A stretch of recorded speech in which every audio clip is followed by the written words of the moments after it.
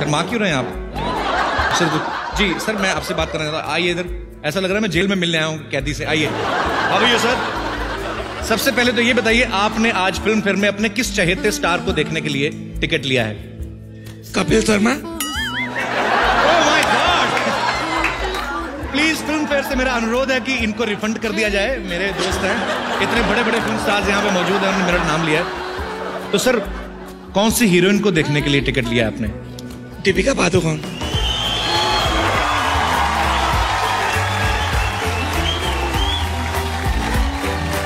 मेरी मुंबई पुलिस से अनुरोध है इनको जेल में डाल दिया जाए। आपको पता है मैं दीपू को कितना लाइक करता हूँ शरेआम फ्लर्ट कर रहे हैं हम लोग रियली सॉरी रियली सर मैं नो आपने कितने का टिकट लिया है? टू लैक्स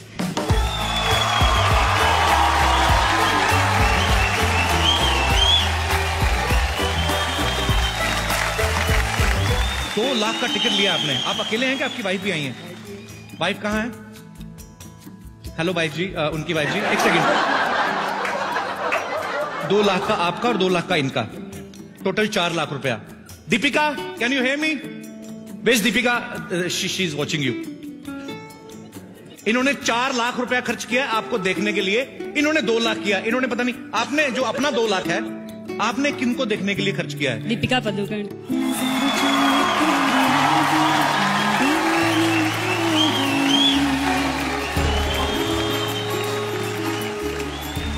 मेरे को एक बात बताइए। पहली बार जब आपकी शादी हुई आपको पहला गिफ्ट जो इन्होंने दिया था भाई साहब ने वो कितने का था?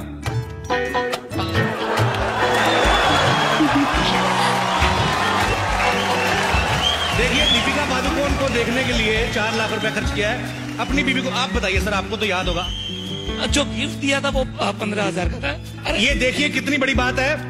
अपनी खुद की पर्सनल बीवी को अ, इन्होंने पंद्रह हज़ार का गिफ्ट दिया और दीपिका को देखने के लिए चार लाख रुपए।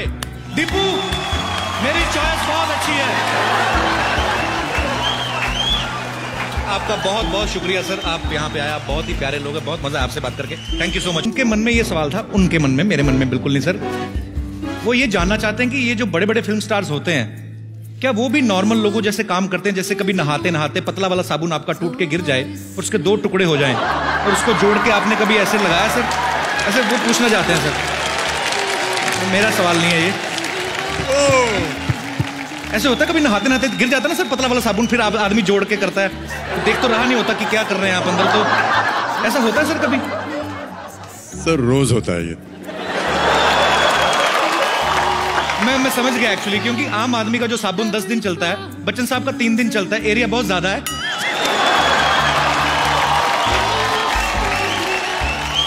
जय मैम हमारे हिंदुस्तान के जो चंद बड़े परिवार हैं आप उस परिवार की मुखिया हैं। जैसे कभी कभी सही सवाल पूछना। नहीं नहीं मैं बिल्कुल सही सवाल। कि जैसे जैसे मेरी मम्मी ऐसा कभी करती है कि शैम्पू की बोतल में शैम्पू खत्म हो गया तो उसको धो के उसमें सरसों का तेल डाल लेती हैं। कभी ऐसा ऐसा होता है मैम कभी? हमारे घर में नहीं। आपके घर में नहीं होता है? सर आप अपना साबुन का ध्यान रखा करें। मैम बहुत ध्यान रखती हैं इस चीज़ का। Thank you so much sir शुक्रिया।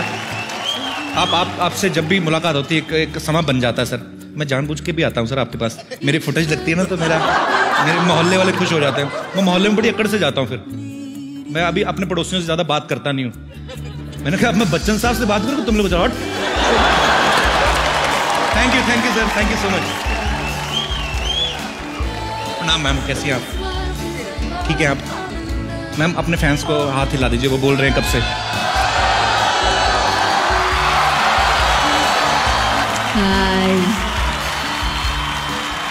Good evening. Hi, Mumbai. You having a good time?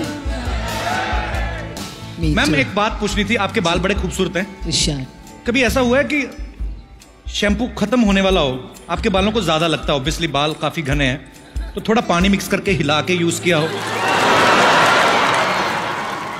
हाँ मेरे साथ तो सालों से ऐसे होता रहा है।